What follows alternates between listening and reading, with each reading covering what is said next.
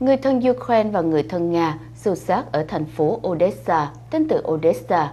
Ít nhất 7 người đã bị thương sau các vụ xô xát giữa những người biểu tình thân Nga và những người biểu tình thân Ukraine tại thành phố Odessa bên ngoài một khách sạn mà ứng cử viên tổng thống ông Oleg Zarev đang tạm trú. Những người thân Ukraine đã phong tỏa lối vào khách sạn Promenade, vậy quốc kỳ Ukraine. Bên ngoài khách sạn, những chiếc xe của chiến dịch tranh cử của ông Zarev đã bị đổ đầy rác. Sự sát đã diễn ra khi những người ủng hộ ông Zarev kéo đến.